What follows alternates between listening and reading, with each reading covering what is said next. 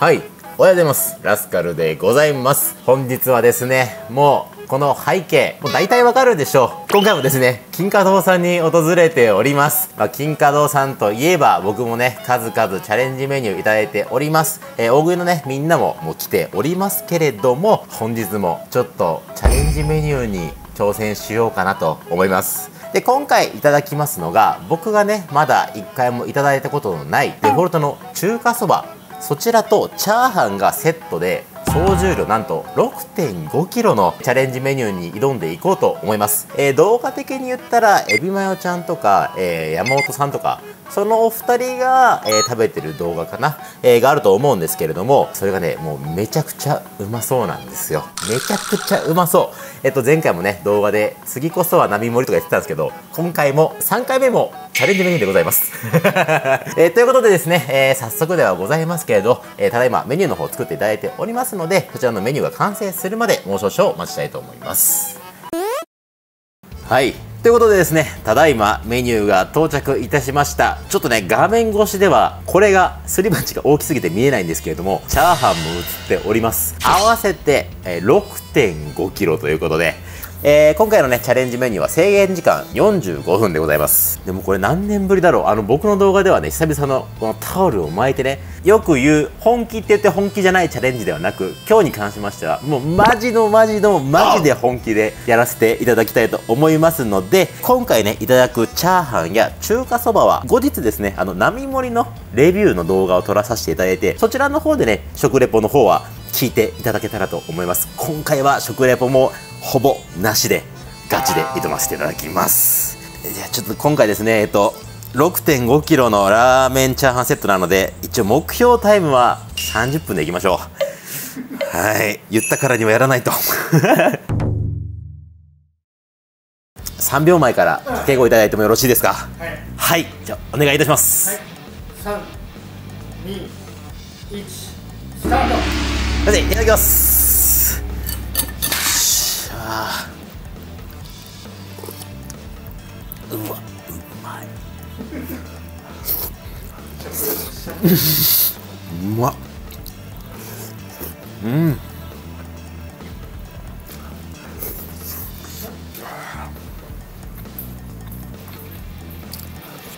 本当にね出来たてなんで暑さが勝負かも。うん。でもちょっとスープから出してね麺冷ましつつラーメンのね麺からいただきます。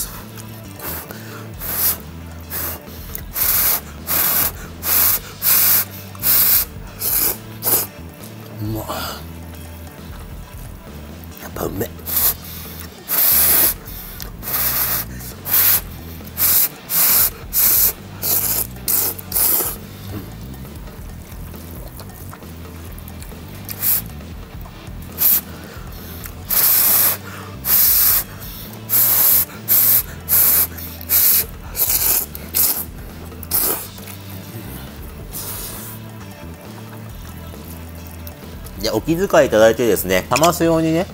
丼とかも、そこの丼ね、いただいてるんですけれども、やっぱチャレンジせっかくですので、そうやって冷ますとか、美味しく食べれなくなるような作法はしないでね、ちゃんとこれ一杯を食べたいと思います。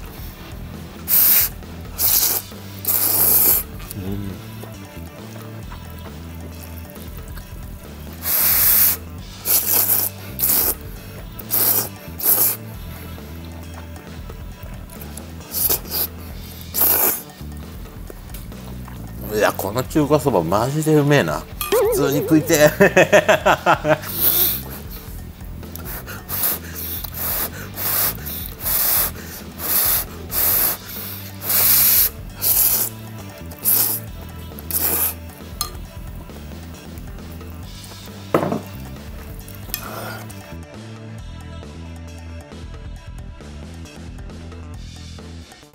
ちなみにチャーハンだけで何合ぐらいあるもんなんですかね？10合近くあるんじゃないですか。3キロぐらいってことですか？はい。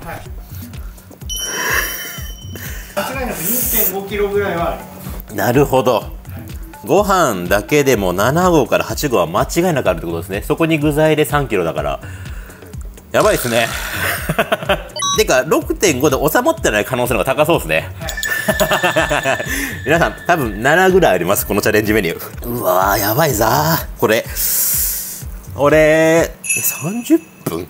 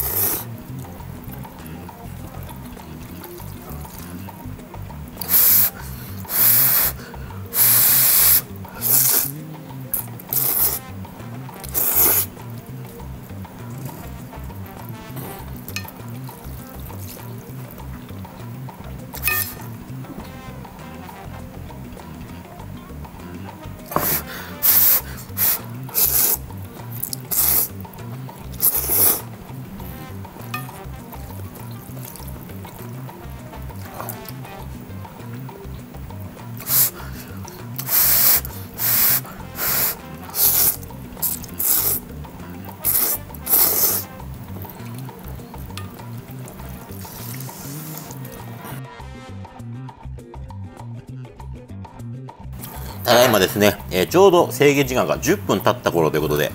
今、残りの麺、こんなぐらいになりました。えーただですね、やっぱり後半、どうしてもお腹いっぱいになってくると、前半よりも絶対にペースが落ちるので、ちょっとこのペースだと30分目安は遅いかもしれません。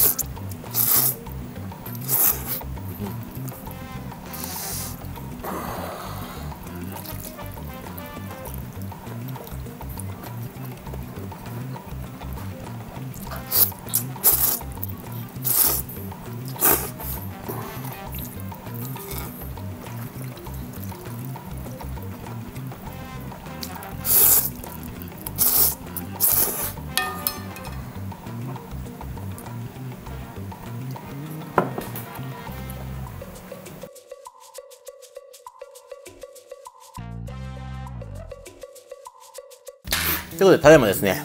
ほぼ具材完食しました。14分か。ちょっと目標には遠いかもしれんな。で、スープをいただきながら、チャーハンね、一緒につまんでいきます。うわ、密度すごっ。うまい。うめえチャーハン。あのね、先にねラーメンよりもチャーハンを作っていただいてるので時間はねこっちの方が経ってるんですけど少し冷めてもしっかりねごま油のあ食レポしだしちゃったやっと。食レポがマジでうまいこれ。うん。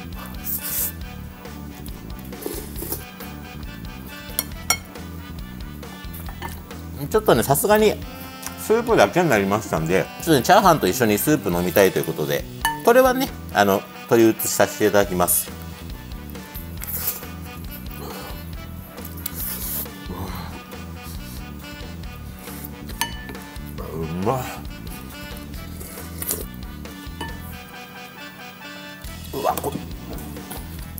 ま。うま。なんでだ。うま。なんでガチチャレンジしてんすかね今。うめ。え ガチですから今日は